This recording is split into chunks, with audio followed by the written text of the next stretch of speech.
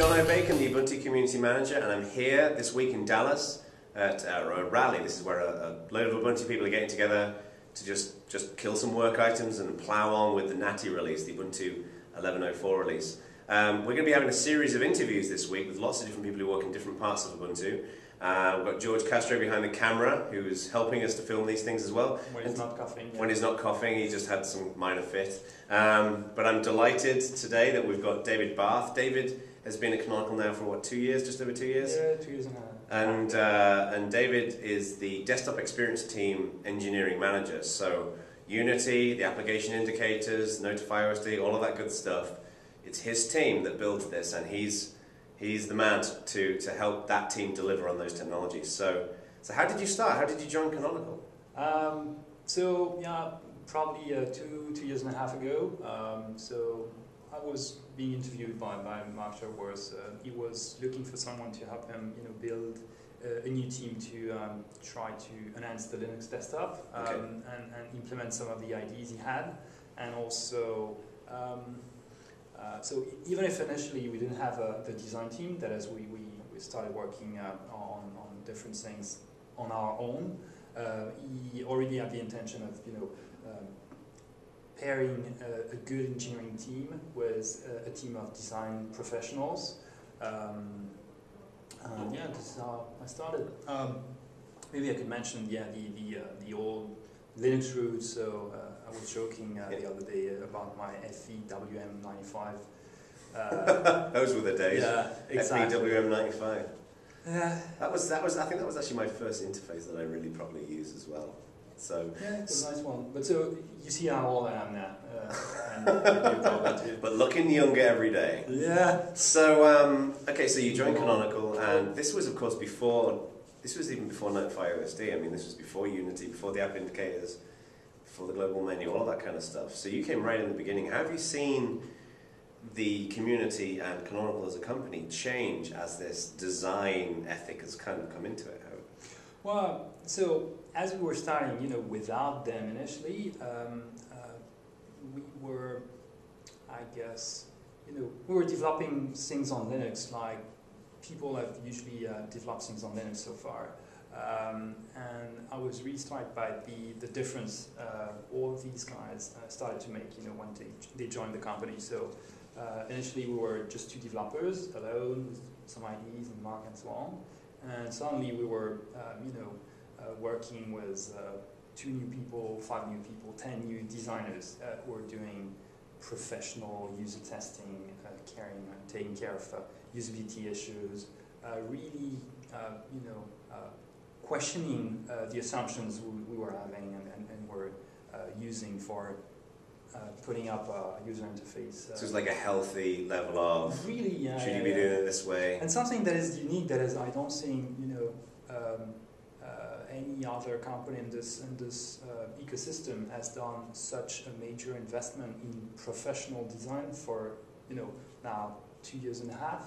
Um, and well, it's an insider uh, perspective. Uh, I'm biased, but I think it made a, a good difference. Right. I think we're doing uh, something good for uh, for the Linux uh, ecosystem. So, so I mean, you know, this this this design ethic comes into the organization, and you know, you've shipped a series of technologies. Um, so, why don't you just walk through what the teams what the teams shipped so far? Right. So, well, we started with Notify OSD. We wanted to, you know, um, start with something that was systemic. Uh, that is, one of our initial directions was to say uh, we won't be doing applications, you know, like specific applications, specific uh, tools, or um, you know, things that people want to use. We want to have a more systemic approach. That is, when we do something, we want that to uh, enhance the whole system um, at the same time.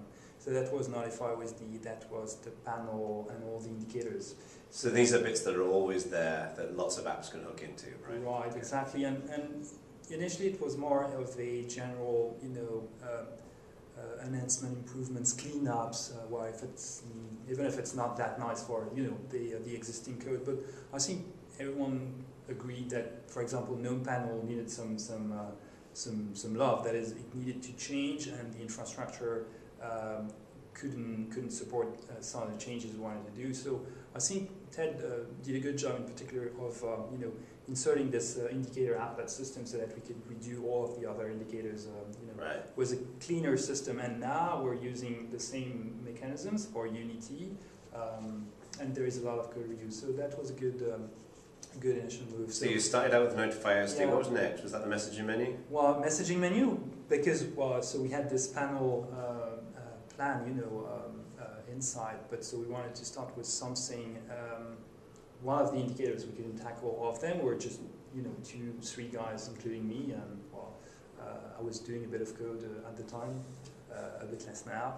Um, yeah, and it was also necessary because the messaging menu was really, uh, you know, echoing some of the things we we're doing with Notify OSD. So then all of the other indicators, uh, and one key change that happened is that uh, we started to work with um, Neil Patel, you know, UNE, the UNE interface. And The legend that is Neil Patel. Right. Okay. and starting to address the, the desktop targets.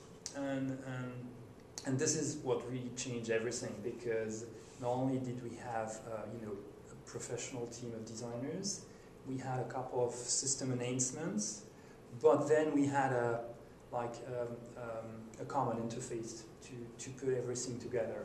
Um, and now it's you know becoming Unity, but I think you know uh, we can uh, we can trace that back Yeah. to the initial UNE. Uh, um, Yeah, I think it's pretty cool how all of these things do fit together. I mean, that's the thing I thought was pretty cool when Unity was announced was the fact that you know the Notify OSD bits and the messaging menu and the indicators that all fits into it. But Yeah.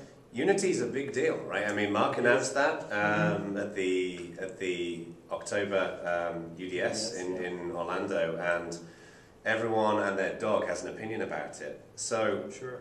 everyone's got an opinion, but what everyone wants to know is how's it going? I mean, is it going to rock in Natty? it Is the going to rock. I mean, no question. And well, actually, you can test it. Um, so it's going well. Um, so my role is to be constantly worried. Right. This is why I'm probably not smiling as much as I should. But I'm kind of happy, you know, with the situation where we're, we're in at the moment because we've passed, you know, the, the big um, technological change we, we had to do. We've had that. And that was the port Compiz, right? Exactly. Uh, that was quite important. So it, you know, it's it's a bit of a disappointment. We we had this initial uh, Clutter code base. Uh, Neil was working on Clutter and so on, and we had invested a lot of time, you know, in that. And but at some point we were hitting a, a, a wall, and, and we decided to do this change and move over to Compiz and, and this well. Um, specific GL toolkit we're using for being just you know ultra fast, ultra stable, etc. And and this is done. I mean, the launcher is running, the panel is running, and we'll soon have the new, you know, the part of the uh, the places, uh, Yeah. or maybe lenses, Right. if we change the name, but the new places interface um, before the end of Alpha 2. So those will be the major pieces, right? I mean, that's the launcher, Yeah, the panel, and then you've got the overlay, the, da- the dash and the, the places forward Exactly. slash lenses. this is the, the, the last missing piece, you know, of the uh, the whole Unity interface we had for netbooks. Uh, so in the process, we're adapting that for the desktop, of course. Uh, but I think the changes and the uh, the adjustment we've done for the launcher, uh, it really works. So a lot of, uh, you know, one thing that Unity got a lot of heat on was Mm-hmm. um, was performance. Some people installed the netbook edition on their, on their netbooks, Yeah. and it was a bit sluggish and slow. Um, and we've already seen in Natty, for those those of us who are running Natty on, on our netbooks, um, the performance improvements have been pretty significant when it comes to the launcher. How is how you find that throughout the rest of Unity? Do you feel like it's going to really offer those significant performance benefits? Well, yes, because so well. Let me first correct what you were saying. So, on certain systems, uh, and and there were a lot of them, uh, we had performance issues and stability issues, right. um, and some of that was due to the uh, the, the, the, the technology we were using, and, and now we were using the technology so that. Um, you know, I don't want to blame the Clutter guys because we were uh, we really liked what they were doing, um, and I think this is a valuable toolkit.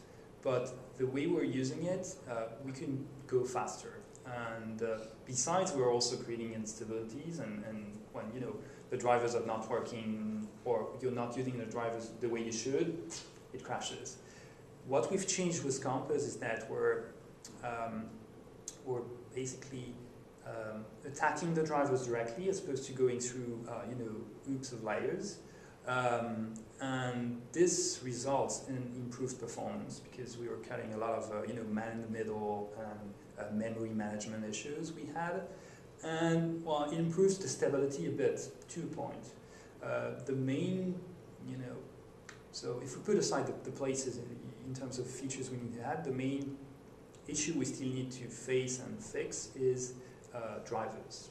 Uh, it's you know it's not a new problem. Uh, it's just that it becomes more um, obvious when you're running Unity. If you don't have a good driver, uh, Unity is not working well. So Right. we've put in place uh, a, a very good process, I think, with the uh, guys. I mean the uh, the team uh, here in Ubuntu. Yeah. Uh, Yeah. to make sure that all the bugs that do impact Unity, uh, whether it's in terms of performance or stability, uh, you know, that flows uh, nicely to them. Uh, fixes are made or uh, uh, upstream bugs are But I'm assuming that those driver issues would apply to, to anything, right? They'd apply to to clutter and all the rest of it. Is, it is Yeah, it yeah, specific? So so so if you have a driver that doesn't handle 3D graphics very well, yeah. you're not going to be any worse off with with the port to Compiz. You're actually probably going to be a bit better off, but yeah. it still needs there still needs to be a lot of work. Is that correct? Right, yeah, Right. You, you still need good drivers. The thing is that we're using drivers more, we're using, um, you know, uh, more of the end features of drivers, like the, the frame buffer objects. Uh, but as, as long as, or as soon as your driver is supporting that, we're using the system, that is the software and the hardware, in a more efficient way uh, Right. this way. So uh, overall, um, I think it's a, it's a good system. Again, it shows when you're using it. Uh, it's really snappy if you're using it, even on a small netbook, which was our initial target. Yeah. Uh, it's really better. Fantastic. So um, there's been uh, a lot of discussion about the about GNOME Shell and and and Unity. How, what's your take on the whole situation of you know the, the GNOME project and, Right. and where Unity fits into the world? So, so we attended the uh, and we participated to the um, the Boston Summit two years and, and something ago. You know, and uh, we were sitting with with uh, Jon McCann and and, and, Owen Taylor talking about how we could improve the desktop. And at the time, well, we had our you know uh, Notify with the IDs in mind. Um, my take on that is that uh, we've followed different paths. Uh, had issues really working together because we had different directions. We had Different visions. visions, Right. perspectives. Uh, they wanted to reform the interface, you know, um, in one go. Whereas we had, we were adopting a more gradual approach, uh, and well, after that, uh, it's more a question of you know distance, people not talking to each other, um, and we ended up you know continuing with our network interface without necessarily looking at or uh, you know working more with uh, with them. Uh, it's disappointing uh, globally because uh, we're all, you know all, I, I still feel that we're all part of the same uh, family and so on, the community. That we didn't manage to um, work better together. But my take now on that is that the GNOME project uh, really needs to consider Unity as an alternative shell. You know, the same way uh, MeeGo is providing an alternative shell on certain you know, Right. systems, uh, Unity is doing exactly the same. And we're doing that on netbook, and we're doing that on desktop now. But it's it's you know another way to see the desktop. So would you like to see would you like to see GNOME users just being able to choose the you know I can experience GNOME in this way or this way or this way? And I think this is what we're doing uh, anyway, because we're, we're going to propose with Natty that people, uh, you know, either use the, the classic uh, GNOME desktop, the Unity desktop, and if people want to use uh, GNOME Shell, it's also going to be, uh, you know, an available option. right. Um, people need to, to, to try and, and see uh, the one they prefer. And I think this is a this is more of a LC relationship. Uh, if there are some good good competition, you know, co-petition. Yeah. Uh, uh, and what I see in the GNOME platform, or what I would hope the GNOME project, you know, um, uh, do is is more is consider more uh, the platform uh, level, um, uh, the, the, the, the platform elements they're maintaining and they're uh, they're um, driving, and considering the GNOME desktop as an independent project, you know, so that on top of the GNOME platform that we're using and that we're you know still uh, hoping to improve through our uh, contributions. Um, on top of that, you can have you can have different experiences. It's kind of analogous in some ways to the, the old days of Linux or the older days of Linux where you have the kernel and everything to get you get a system booted, um, but then you have different shells. People have Exactly. different command line shell. So yeah, maybe this is uh, this is this uh, these old, old days um, coming back. Um, right. So, so, so just wrapping up, uh, just to, to, to wrap things up a little bit. How have you seen? I mean, Unity is a new community, right? I mean, Mm, um, it's right. really beginning. George has, has Yeah. been doing some wonderful work, um, getting people excited about participating, fixing bugs and things like that. Um, how are you seeing it? How are you seeing the community grow and contribute to Unity? So um, it's been fantastic to see uh, you know people uh, starting to tackle the bite-sized bugs uh, we've prepared uh, because we wanted to give a like a you know um, like uh, easy bugs or um, a, a way for people to start working with us uh, because we understand that well, the Unity project it has roots you know from uh, a code base that we can trace back you know two years ago so some of the things uh, you may see uh, you, you may see are strange. So it's it's huge besides because you have to know how Compiz is working. You have to know you know how the uh, the internals of Unity is working. You have BAMF uh, the application matching framework and so on. Um, it can be a bit uh, daunting, uh, you know, to, to, to get started with that project. So uh, yeah, thanks to, to you guys and, and, and your need to have uh, bite-sized bugs. I think we we have a good dynamic that is uh, that is starting to take shape with the uh, the Unity community. Um, we have an awful lot of work to do still. You know, like uh, explain more how the system is, uh, is designed. So we've had session on UDS at UDS about that. We've put some of that documentation online. I, I, you know, I, I strongly feel we need to do a lot more if we want to um, grow our community. But I'm Right. really happy with the start. And, So it's a good start, but lots, lots to do. yeah, yeah. Well, that is, we feel, you know, uh, obliged uh, with, with all the people who are uh, sending code, contributing uh, code and suggestions and so on. It's, uh, it's great. I just want to give one shout out to uh, Jason Smith, Yep. who uh, is he's pretty young and he's not been working on Unity for a huge amount of time. I think he's, it wasn't a huge amount of time that he started on it, but he has just really reached out so well to, to everybody who's participated. I've always seen him as Yeah. DBO on IRC, and he's he's done such a great job welcoming people in. So kudos to Jason. But uh, so, what are your plans for the rest of the week? So the rest of the week, so mostly uh, we have the places. We want to, you know, we want to land uh, in Trunk. Uh, resuming also our uh, weekly uploads. So because of the holiday break, uh, you know, we haven't had uh, uh, Right. many uploads for uh, a- a few weeks. So, So, can we expect places in the upload on Thursday? yeah, yeah, we're really, uh, you know, this is what we're planning um, uh, to have on, on Thursday. In Um, fact, that's the reason why I asked that question. It's, it's, it's documented now. Yeah, okay, so it's on record. Um, um, accessibility, uh, we're going to do uh, a lot of work to, um, this week, you know, uh, with accessibility, um, making sure we have the first, you know, vertical slice of that. That is, uh, be able to see Unity through uh, an accessibility tool. Uh, that's important. Uh, we have some a, a lot of infrastructure also that is moving with the dbus menu changes Right. uh, and landing, so a lot of rebuilds and so on. Um, polishing the launcher, things like that. With places is the big uh, is the big thing. Great stuff. Well, David, thank you for joining us. Yeah. Uh, have a wonderful week and uh, all the best.